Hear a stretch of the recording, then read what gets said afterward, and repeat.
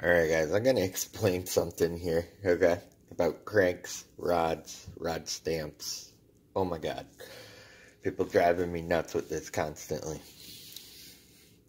Alright, so there's like this big misconception that you buy a YD100 and it's 40 millimeters. Chances are it's probably a 40 millimeter stroke. It does not mean it is.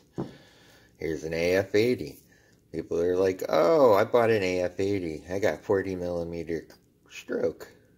No, that doesn't mean anything. The rod stamp means nothing. And there's actually no difference between these two rods in total length. There's like 90% of them are all long rods. They're all the same. Okay? This rod stamp, the only difference between the two is the weight. This one's going to weigh a little more than this one. And I'll show you exactly what I mean. Make sure it works. Can you see it? Alright. At 0 grams, here's a YD100. We're at 90 grams. Here's the AF80. We're at 88 grams. Okay? Now, why is that significant?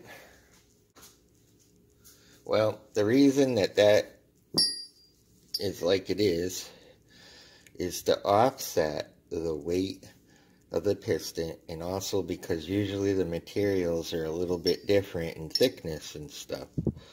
So, but if you look at these, I'm telling you, they're identical. I mean, the holes and stuff are in a little bit different spots, but let's see, let's get it perfect for you guys. Okay, that is perfectly lined up. See? Alright, so those are two different rods, okay? Alright, so you're probably wondering why I said one for one and one for the other. Okay, this is a YD100 crank cap. Alright, this is an 80cc crank cap. Do you notice how one's slightly thicker? Alright, so in terms of weight and balance and all that, this is now heavier on this side than this one because of the thickness difference. Okay?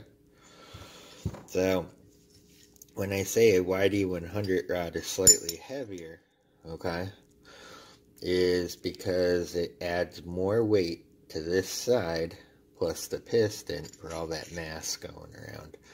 Because that's why they make this slightly thicker. To offset the weight of the piston and the rod and all that. So just keep that in mind.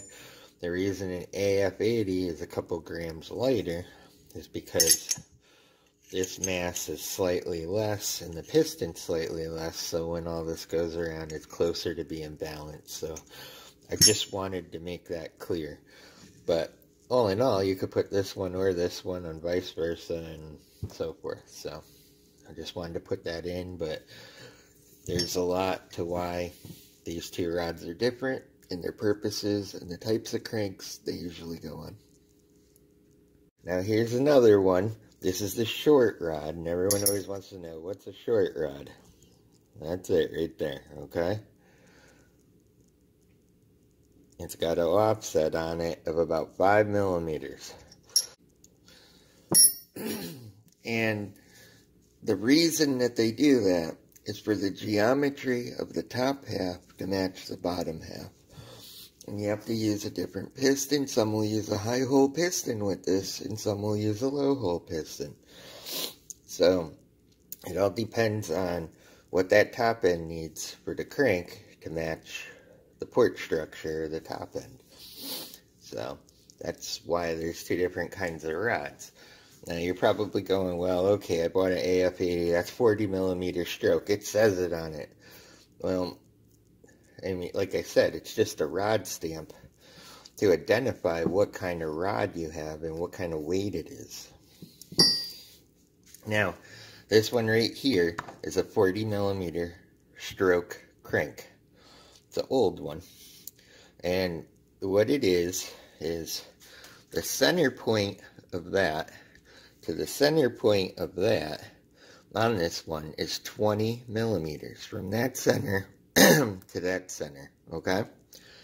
So as this turns, it's 20 in this direction, and it's 20 in this direction, okay?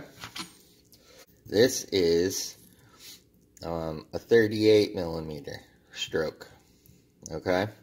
So it's 19 from the center point of that pin to the center point of that pin, okay?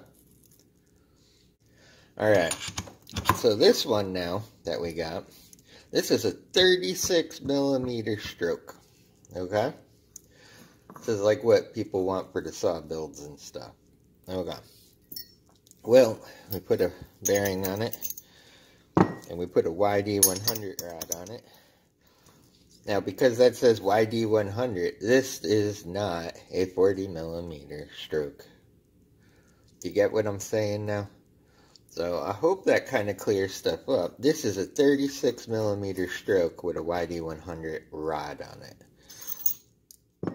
You know, and same goes for these 50cc ones. You know, it, it could be on anything. It could be on a 36. Could be on a 38. Could be on a 40. You have no idea till you measure from the center point of that to the center point of that.